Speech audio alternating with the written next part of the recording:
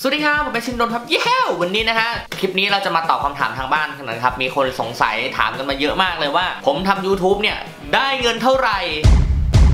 นะครับการทำ YouTube เนี่ยหลาย ๆ คนก็น่าจะรู้กันอยู่แล้วนะครับว่าตอนนี้เนี่ย YouTube มันทำเงินได้นะฮะสร้างรายได้ได้ แต่อยากจะบอกเลยนะฮะว่าช่องผมเนี่ยมียอดวิวประมาณ 50 ล้านวิว 50 ล้านวิวนะฮะ ก็จริงๆแล้วมันเออเผอิญมีช่วงเมื่อประมาณปีที่แล้วผมได้ทำการลบคลิปออกประมาณ 300 คลิป เนื่องจากมันมีปัญหาอะไรไม่รู้มันกดสร้างรายได้ไม่ได้ อยู่ดีๆก็สร้างรายได้ไม่ได้นะฮะก็เลยตัดสินใจลบ คลิปออกลบเลยนะ ลบนะ ลบออกหมดเลยนะฮะ ก็เสียยอดวิวประมาณ 3 ล้านวิว ถ้ารวมๆคลิปที่ลบไปแล้วเนี่ยก็น่าจะตกประมาณ 50 กว่า ประมาณ 52 ล้านวิว ประมาณเนี้ย52 53 ล้านวิว ถ้าไปลองไปหาข้อมูลดู มันก็จะเฉลี่ยประมาณว่า 1 ล้านวิว อาจจะได้เงินประมาณสัก 3,500 บาท โดยเฉลี่ยใช่ไหมฮะ แต่แต่ฮะ ช่องผมฮะ ผมทำคลิป YouTube มาประมาณ 2-3 ปีแล้วกดสร้างรายได้มาประมาณปีกว่าฮะ ผมเนี่ยจะบอกว่า 50 ล้านวิว ผมได้เงินเงินเงินเงินเงิน ไม่บอกดีกว่านะฮะ เอาเป็นว่า รอบหนึ่งเนี่ยส่วนใหญ่ที่เขา YouTube จะส่งส่งเงินมาเขาจะตัดรอบละ 3,500 บาทใช่ไหมโดยประมาณก็คือ 100 เหรียญเนี่ย 3,500 ทุกครั้งที่เรามีออยอดเงินสะสมที่ 100 เหรียญเนี่ยมันก็จะตัดโอนเข้าบัญชีเรา 3,500 บาทอ่าผมจะบอกว่าผมทำ YouTube มาทั้งหมดเนี่ยไอ้50 ล้านวิวเนี่ยที่ทุกคนเห็นเห็นกันอยู่เนี่ยผมได้มาทั้งหมด 6 รอบ ฟังไม่ผิดนะฮะ 6 รอบถามว่า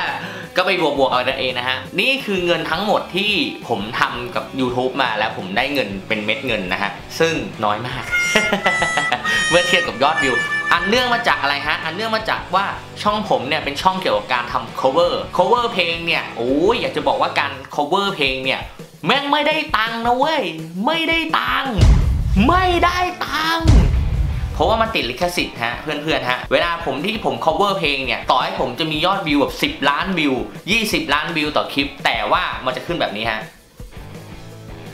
นะครับเนื้อหามีลิขสิทธิ์ ฉะนั้นเนี่ยสร้างรายได้ไม่ได้เลยนะฮะหรือว่าจะมีอีกแบบหนึ่งนะฮะ อีกแบบหนึ่งคือบางบางคลิปเนี่ยเป็นคลิปสอน แม้กระทั่งคลิปสอนเนี่ยที่ไม่ได้ใช้เพลงยังโดนเลยฮะนะฮะยังโดนเลยมีเนื้อหาลิขสิทธิ์แต่มันจะมีอีกแบบหนึ่งฮะมันจะขึ้นแบบนี้ฮะ อันนี้คือมันจะแบ่งส่วนแบ่งรายได้นะฮะ แบ่งส่วนแบ่งรายได้ ให้เจ้าของเพลงนั้นไปนะฮะเราก็ได้ได้เศษเศษเศษของเขามานะฮะซึ่งอยากจะบอกว่าสมัยนี้เนี่ยลิขสิทธิ์มันเคร่งมากฮะเคร่งมากจริงๆ เพราะว่าไม่ว่าคุณจะดีดกีตาร์โป่งร้องเพลงเนี่ยคือไม่ได้ใช้เพลงอะไรของเขาเลยนะ เพลงจริงอะไรของเขาเลยยังติดลิขสิทธิ์เลยฮะฉะนั้นเนี่ยอย่าไปคิดว่าผมรวยนะฮะอย่าไปคิดว่าผมรวยบางคนเนี่ยอาจจะบอกโอ้พี่แป๊ะเนี่ยคนดูเยอะนะ cover คนดูเยอะแยะโอ้น่าจะรวยจาก YouTube แน่นอนไม่ใช่นะฮะเป็นความคิดที่ผิดนะฮะ อันนี้ผมมาชี้แจงตรงนี้เลยแล้วกันว่า ที่ผมได้เงินมาประมาณปีปีกว่าๆเนี่ยได้แค่ 6 รอบเองนะฮะหกรอบก็เฉลี่ยประมาณ 2 เดือนต่อครั้งนะฮะสองเดือนครั้งนะครับคุณ